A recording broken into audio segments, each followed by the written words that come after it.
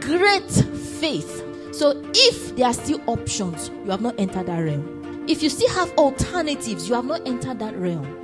If you are still making mistakes with your declarations, you have not even entered that realm. If some small breeze shake you, oh, why is my life like this? Oh God, I'm blessed. I'm blessed. It's okay. I'm blessed. I'm blessed. It's okay. Everything, everything's fine. Okay. okay. Not cry. I am blessed. Hey. I'm blessed. It's okay to be there. That's the pathway to getting there. Keep speaking until it drops in your heart and it begins to frame every single thing on your inside. We were created to live from inside out, not outside in. Until it has formed on the inside, cannot be seen outside.